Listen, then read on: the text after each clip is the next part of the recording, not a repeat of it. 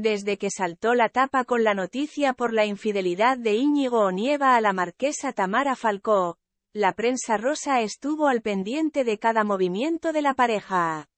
Hoy, luego de todo ese revuelo que surgió en 2022, la vida parece sonreírle con su mejor cara.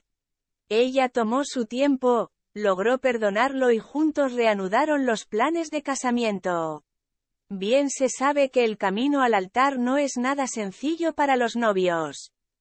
Su romance está constantemente expuesto y envuelto en especulaciones, controversias y polémicas que ni a la socialité ni al empresario le hacen gracia, por supuesto. Para el colmo, ahora aparece un frente más. Sophie Voilà no hará el vestido de novia de Tamara Falcó a dos meses de su boda por las exigencias de la marquesa, el título en grande del país.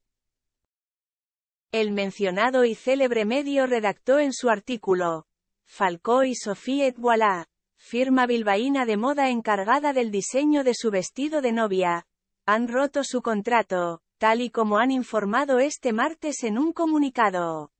Sus dueñas, Sofía Arribas y Sayoa Goitia, aunque no especifican cuál es el motivo concreto de la decisión, dejaron entre líneas algunos aspectos que tuvieron en cuenta para romper el acuerdo. Comillas. Lamentablemente, el acuerdo entre Sophie Voilà y la señora Falcó para la confección de su vestido de novia ha tenido que ser resuelto como consecuencia del incumplimiento contractual por parte de la señora Falcó, comienza la nota. Sentimos un profundo respeto por la creación artística de otros compañeros y nuestra ética empresarial nos impide traspasar ciertos límites que pondrían en peligro la autoría original del diseño.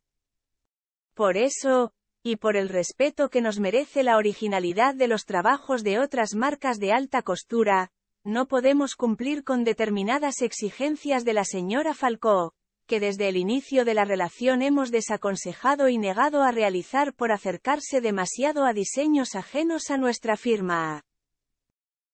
El país aclara que las dueñas pretendían crear un concepto desde cero, pero al no llegar a un acuerdo entre las partes, es decir, la marquesa y la firma, y al no sentirse cómodas, las diseñadoras han preferido paralizar el acuerdo. En una entrevista con el Confidencial, las artistas aseguraron que la marquesa se encontraba, preciosa, contenta, súper animada y pletórica, en la primera prueba del vestido. Pero desde entonces, se ha vuelto mucho más exigente con ciertos cambios que la firma decidió no hacer. Desde el principio hemos puesto todo nuestro empeño para que se sienta la novia más guapa del año, cuidando cada detalle y escuchando sus ideas.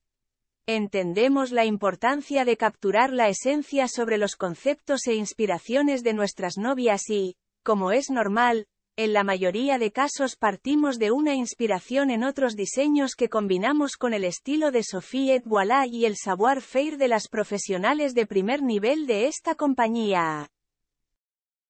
A fin de escuchar la otra versión, el diario habló con el equipo de comunicación de Tamara y este se mostró tremendamente sorprendido, por la noticia.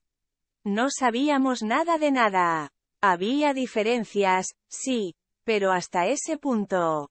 Hay muchas maneras de hacer las cosas. Además, ella no dudó en hablar con su revista de cabecera, Hola. Sobre el asunto, no tenía ni idea y nunca pensé que llegaríamos a este punto. De hecho, estábamos trabajando, al menos por nuestra parte, en un entendimiento, afirmó. Yo soy la primera que me dedico a la moda.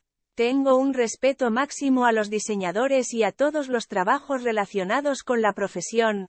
Un proceso creativo bebe de muchas fuentes de inspiración y lo que yo les trasladé fueron mis inspiraciones sin intención de que copiaran un diseño, explicó.